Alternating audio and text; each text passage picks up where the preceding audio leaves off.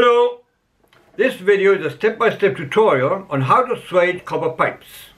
At the end of the video I'll explain why you shouldn't use these tools to swage pipes, at least not for gas pipework. Let's go to step 1. To cut the pipe for flaring, we must use a pipe cutter. Any other tool can give us a crooked cut. To make sure we get a 90 degree cut, we first carve a slit all the way around the pipe. And then we start tightening the cut till it cuts the pipe completely. And that's it.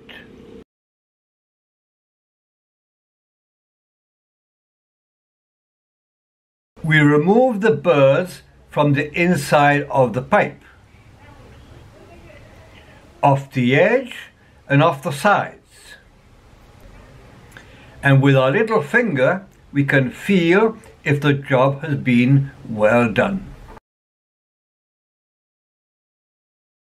Now we must anneal the pipe, heating the copper with our torch and covering at least two inches from the end,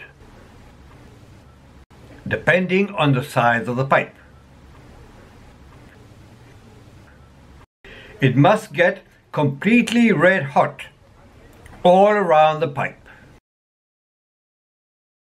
Then we let it cool off slowly on a heat resistant surface.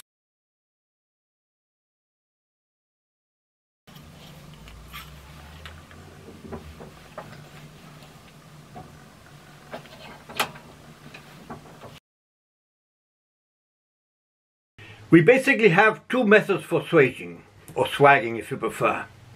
Punch forming and spin forming.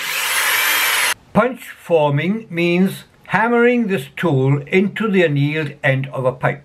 Spin forming is done with this tool placed in the mandrel of an electric drill. We have to expand the pipe a distance equivalent to the diameter of the pipe.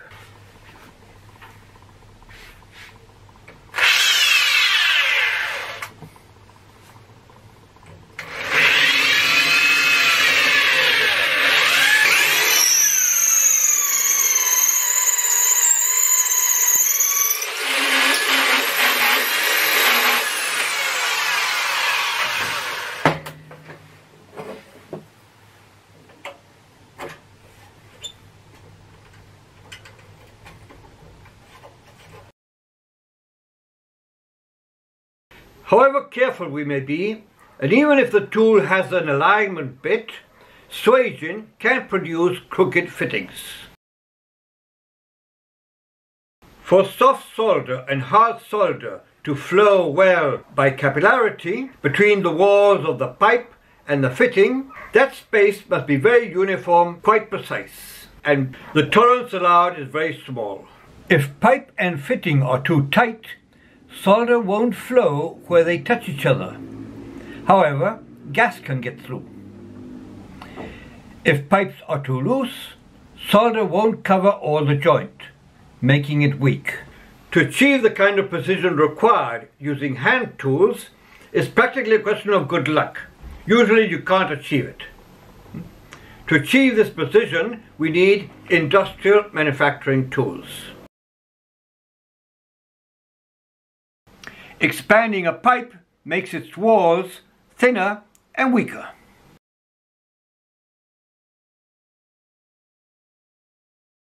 Used pipes usually have pitting on their inside walls. So if you swage an existing pipe, you may not be able to clean it enough for soldering, causing a leaky solder joint. For all these reasons, swaging should only be used for emergency purposes or for temporary repairs in water pipes, but never in gas pipework. Well, I hope you liked this video, and if you did, please give it thumbs up, subscribe, and thanks for watching. Have a nice day. Bye-bye.